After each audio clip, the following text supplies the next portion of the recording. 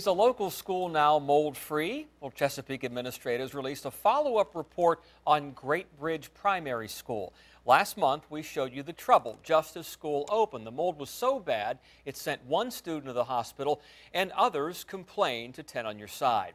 Andy Fox broke the story in September, and there's a new report now. So, Andy, what does the report say? Well, Tom, we're pleased to report good news in that report. We met with a man in charge of removing the mold, and believe it or not, he uses detergent like Dawn. Yes, Dawn ultra concentrated dishwashing liquid to wipe down mold, aggressively attacking the mold until there is no visible evidence of mold or mold odors. The doctor listened to his chest and said to me, get him to the hospital right now. He's in respiratory distress. Ronna Thomas's grandson Landon would spend the next three days in the hospital.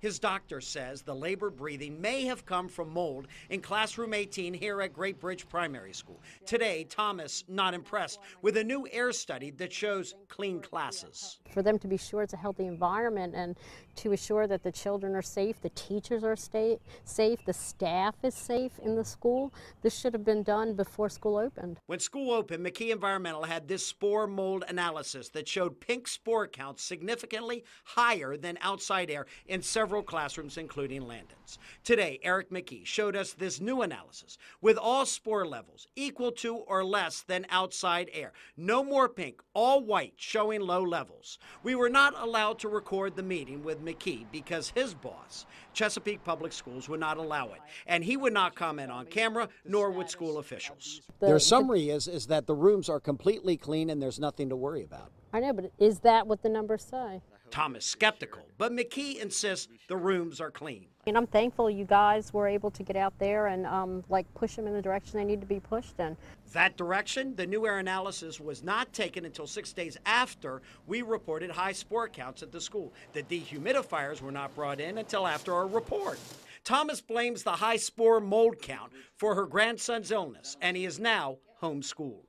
Because she does not want to put him in an environment that's going to be unsafe for his health. Mm-hmm. And that's what it comes down to. And it's a shame, is what it is.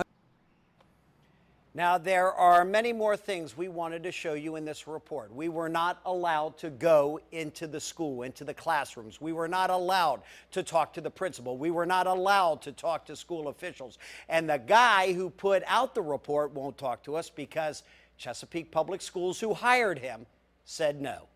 I'm Andy Fox, 10 on your side. Now, the good news is that we can confirm, based on the McKee report, the numbers, numbers show very low levels of spore counts in the classroom.